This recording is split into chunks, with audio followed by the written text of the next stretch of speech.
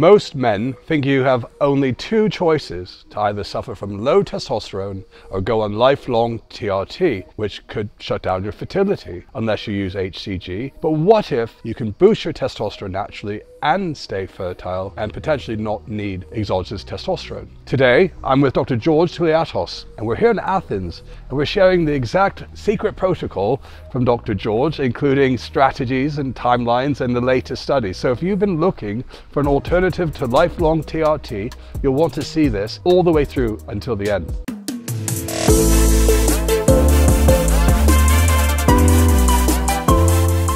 All right, so good having you back, Dr. George. Glad to see you Dr. T, in yeah. Athens, uh, Michael, and uh, welcome to my home. Yeah, thank you. Thank you for host. hosting us over here. It's the A first time lovely home. shooting. Yeah, thank you. Um, yeah, speaking about this hormonal boost. But fir- so- firstly, before we talk about that, I guess I suppose the question is why do men need the testosterone in the first place? Just a really brief overview. Why do you think? well, in the lack of the testosterone, we speak about this several times. Several things develop, like depression, erectile dysfunction, lack of sex drive, uh, body composition, and visceral fat accumulation that leads to insulin resistance and obesity that create the metabolic syndrome. Right, all these age men because lack of testosterone hypogonadism is an inflammatory uh, disease. All right, but unfortunately, the medical board and endocrinology urologists hesitate to administer testosterone for their own reasons. But it seems that it's not about the levels of testosterone. Because we have a certain level, let's say 250 nanogram. As, as, as, as, Unfortunately- the tre- as the treatment level, yeah, 250 unfortunately, nanograms. I've seen levels below 150 that get denied to uh, receive testosterone. And I think they have an agenda for this. They don't want testosterone for sure in order for a man to be miserable and receive antidepressive, statins, semaglutide, and of course, erectile dysfunction uh, medications. Yeah, it's actually interesting you mentioned semaglutide because that's that's the newest, latest, the GLP-1 agonist. So, if you're fat, if you're obese, and with low testosterone, they prefer to give you semaglutide, but you're gonna waste your muscle apparently because you don't have any testosterone to preserve the muscle during diet. They just give you the order diet, but the point is you cannot diet if you are on low energy with low testosterone. And 99% you're gonna waste your muscle. That will create more insulin resistance. and, and so more body fat. The and perfect potentially- combination is testosterone along with semaglutide, low carb diet, cardio, lifting weights, and then you're gonna preserve the muscle tissue, kill the fat, improve the body composition, okay? And you're gonna be much happier, of course, with higher testosterone. Anyway, now the commitment with TRT is something that not many people can address. All right, so let's say we have a 30 year old guy with uh, 200 nanograms, okay? It's, uh, it's very demanding to say that hopefully, if you live up to 100, you're going to receive testosterone for 70 years. And if you are planning to become a dad at 40, you need to use alongside HG for 10 years. This is something very demanding and expensive, of course. And not many people are willing to do this on a weekly basis or even on a daily basis with a cream. But there's a growing number of, of, of people that, that do say, no, just give me the testosterone. But you're right. Yeah, but still, they, some they hesitate and they freak out and they panic. Well, my point is, if you go to the end and give you the T4, are you saying I'm going to keep it forever? Of course you will, because it's something that you need and it works and uh, it feeds your deficiency. So taking your cream simply is like brushing your teeth every day. Do you ever stop eating? No. And if something works, why to stop it? But many people are not that committed and freak out that Yeah. I have to do this every day for the rest of my life. So we have an alternative thing to increase your own endogenous levels. Even though below 300 it's not very promising, yet I've saved many cases of people that even prefer a temporary solution rather than go to the permanent TRT. The point is, you're gonna feel much better within a month with the TRT. But many people yet prefer to boost the endogenous production with two kind of protocols I have created, and Okay. they 90% they work. They don't work when you don't sleep well, when you don't consume cholesterol, and if you booze. So the main lots of main alcohol. factors is sleep from 11 to 7, Yeah. the circadian rhythm, okay, when testosterone is elevated, then avoid alcohol that aromatizes in the liver and lowers testosterone, and also eat cholesterol from steak and eggs in order to synthesize the testosterone. Also, you shouldn't overtrain because after half an hour, 45 minutes, then cortisol uh, is released to suppress the inflammation in the muscular joints, and then testosterone is inhibited. But anyway, Well, a quick question about cortisol. But, but before we do, something that raises my cortisol is when people don't subscribe to the channel. So look, if you've been looking at the channel and you've enjoyed the content, please, why don't you subscribe to Balance My Hormones to our channel so you can get the latest and hit the notification bell so you don't miss when the videos drop. So anyway, George. So as a matter of fact, cortisol elevates when you also stay up all night because cortisol is at the lowest levels. You know, at night it should elevate and spike AM. and you wanted to spike because that helps you wake up. It Yes, but you shouldn't have raised cortisol at night. No. This is what keeps you Awake. alert. Yeah. And then cortisol, of course, creates insulin resistance and so on. So the protocol is first of all, we have the clomiphene, but preferably the N-clomiphene that increases LH testosterone. Now, the regular clomiphene has a disadvantage and one benefit. It raises LH and testosterone, but as the late Don John Crisler mentioned, Yeah. it raises also SHBG, which is inhibitory to the free testosterone, the one that works. So in the paper, you may have an elevated total testosterone, but the patient does not feel that well because SHBG traps the free testosterone.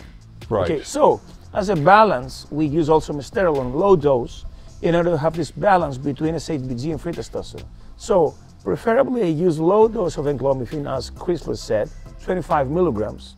Uh, clomiphene or N-clomiphene? Well, enclomiphene, yeah. Sorry, along with mesterolone 25 milligrams. There also I throw some DHEA at 25 milligrams that has benefits for the steroidogenesis. Then the most vital mineral, which is zinc at 25 milligrams as well. Then also I give the, the steroid vitamin D3 at 10,000 IUs. And finally, I add the boron, the, the mineral that does the same job as mesterolone at 6 milligrams, which is a higher dose. Okay. So this protocol for 20 days, for three weeks. Why?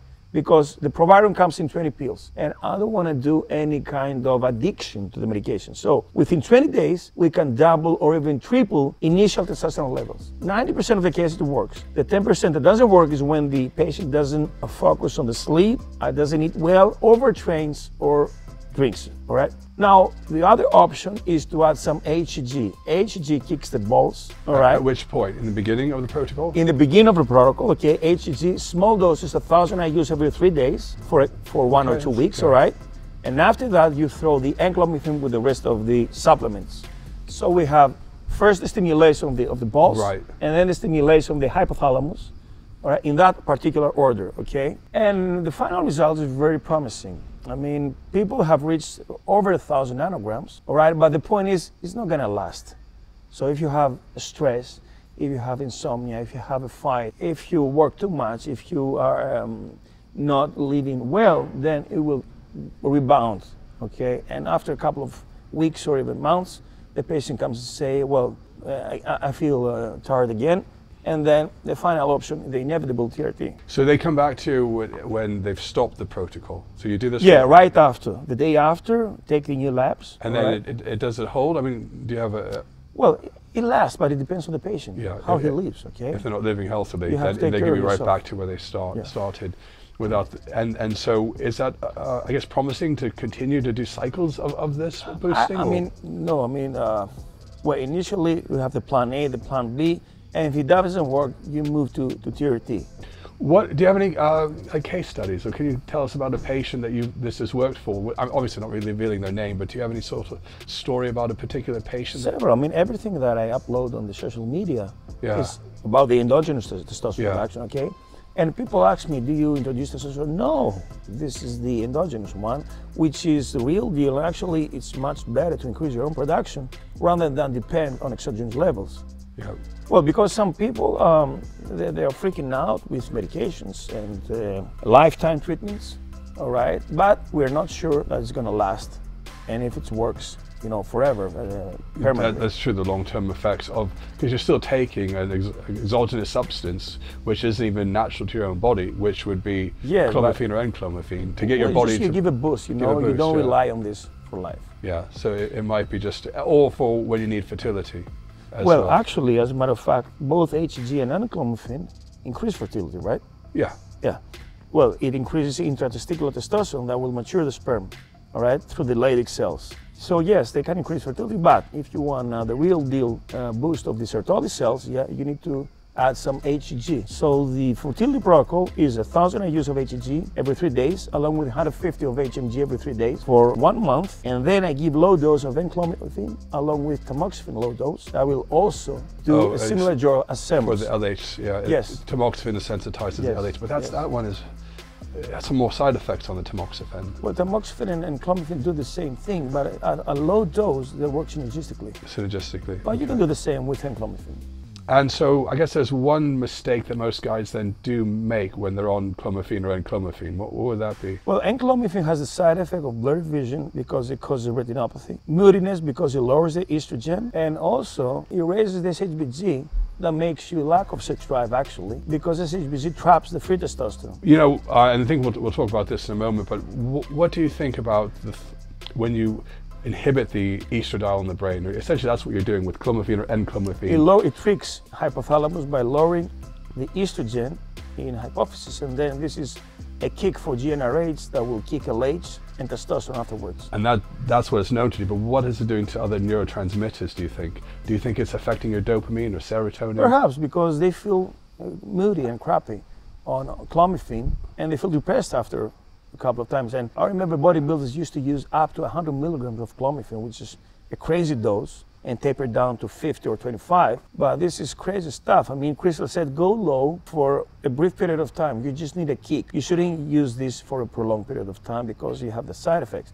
So the PCT protocol works as a stimulation, not as a permanent thing. Okay. Then obviously with time, you're gonna have the recuperation and recovery. So what have you seen different between the clomiphene and the And enclomiphene? clomiphene is much more expensive and lacks of the side effects. you don't get as many side effects from No, enclomiphene. you don't have the blur vision, the moodiness, and the elevation of the SHBG. Okay, you've seen that. That's, Yes. that's really good then. Yeah. So less side effects, and do people tend to stay on the enclomiphene longer than the clomiphene? Yes, one month. Two weeks the HG one month, so it's six weeks totally. Okay, and then they stop, and then and Yes, And that's when you're on your own. You Okay. can keep, for instance, uh, zinc, boron, D3 vitamin, you know, but uh, the medication needs to stop eventually. Would you recommend if a patient wants to stay stay on it for six months, the end No, no, I don't. I don't. You should stop. Come on. You should rely on something. Besides clomiphene, we know it's thrombotic, pre-thrombotic. And even even the enclomiphene. No, the enclomiphene, the clomiphene. the normal clomiphene. Yeah. Uh, I'm not sure about the enclomiphene, but to me, the PCT is just a kick. Just you a shouldn't kick. rely on this. Yes. So so you you're, You're on your own. You're on your own. yes. Uh, so You should be on your own, actually. okay. So you're recommending the clomiphene and clomiphene mostly for I guess post cycle recovery. Not just that, but people who never touch steroids are around 450 and they don't want to use the testosterone or 350 or even 250 have worked. But it's not that promising as the initial starting level. Okay, so now getting to the one mistake people make. My thought is, and tell me if, if I'm wrong, this is what people have been waiting for. If someone has elevated LH to start with, That oh, looks like primary hypogonadism. Yeah. But many people are taking D-aspartic acid, Tribulus terrestris, long jack, or fenugreek. is that doing anything? Because if these are No, guys, yeah, listen, yeah. it works in the paper, it elevates LH, but in the paper it gives you perhaps a better sex drive. But if you have primary hypogonadism, No, it looks like in looks the like paper you- as yeah, a primary yeah. because it kicks and you have an LH of 8, for instance. Right. That it's because of the supplements. right, which That is supplements kick the LH, okay? they skew it. Yeah, exactly. Yeah. But there are some patients who aren't on supplements. They have they come to you and have an elevated LH. Yes, indeed, they have around 8 for instance. Do you think this protocol would work for them? Well, it it will be even higher with the serum, right? It'll go Because even after, higher, yeah. after the clomiphene, you have a LH of 12 for instance. But how much more do you think? I mean, how much more uh, juice out of the orange can you squeeze on a guy that has an elevated? The point LH will kick the testosterone. That's a the, bit more, a bit more, but there'll, there'll be diminishing returns, won't there? Like if they're already at the top of the line, It's not that promising then. n- there's no promise that it's going to it's going to be effective long term. Yeah, Actually, the clomiphene is good for the secondary hypogonadism that has Low. switched off the LH. Yeah, All right. but that's not that common, is it? The secondary. Yeah, You know, the secondary happens to people that have abused steroids. right. All right. And it's called late onset hypogonadism. Late onset Hmm. hypogonadism. Yeah. And recently, I've seen a 60-year-old guy who had the LH of 0.7 and a total testosterone of 015. A woman has 50. Oh my God. He had yeah. and he told me he feels very weak. Yeah, he couldn't wash his hair, what Morgentaler said. he could barely stand and walk. Of course, nothing to do with sex. Of course, yeah. He was overweight. He was around 95 kilograms, 170 uh, tall. Okay, and of course in his TRT because it's the lowest levels I've ever seen. Crazy, yeah. Yeah. And how's he doing now? He said he's over 60. He started uh, using the enanthate, all right? He waits a little bit to kick, all right? And it's never late. I mean, he's 60, he should use it, all yeah. right? So it's not too uh, late, you say, yeah. Well, I mean, feel with, uh, I mean, live with uh, dignity for the rest of your life, of his uh, years, because really pathetic. So you've seen him. He sees. He's, he's happier. This this this patient. That, that's, Well, he's willing to use the testosterone, but of course it's too soon now until the, the enanthate will kick. But he has no other solution. I mean, What else will work to him? In doing this protocol, would you say the biggest mistake, I know we talked about that earlier, is someone not actually getting, would you recommend them getting sperm counts and sperm analysis whilst they're on this protocol? Yes, I mean, if they have not created the family yet, I'm telling them to do a seminal diagram, check it afterwards also, and compare because it will apparently will improve. okay, HCG and uh, clomiphene will improve the sperm. So yes, I'll tell them to check it out, and of course, before jumping to TRT, you should have also seminal diagram. If you want to preserve your fertility, if it's decent, you need to use So you're saying it's, it's good to have a baseline to know where your sperm count is, or at least yes. have, have Then you shouldn't blame testosterone Yeah. if you're already at oligospermia in the first place. But if you already fathered children, I mean, you could assume that you, you don't have an issue. And then if you start a TRT after, you don't necessarily have to have a semen analysis. So that we can provide those that balance for hormones if people need them through one of our partners. So all right, so that's, that's a good plan. So I guess there's there's um, there's pitfalls to avoid. That this protocol isn't really for life like TRT. It's a temporary solution for someone who wants to avoid the permanent TRT and freaks out with this uh, lifetime uh, treatment. So I guess you can, at least in the short term, Postpone a little bit. postpone Yeah. having to go on a lifelong of TRT. So for final reassurance, you can boost your testosterone, you can preserve your fertility, but you have to do it correctly, you have to do it properly, and maybe the best option is not to expect to be on testosterone or to be on this protocol for life, but to use it to see where you are starting from and maybe preserve that fertility. So the next video, do make sure you subscribe because we're going to talk about all sorts of things TRT related health and wellness optimization. Look, if you want to see if this protocol might be right for you, check out the links below in the description and contact Balance My Hormones and we can also put you in touch with Dr. T. And don't forget, to your health, to your hormones and to your future family, it all starts with the right protocol. So if you want to preserve your fertility, if you want to improve your quality of your testosterone levels, remember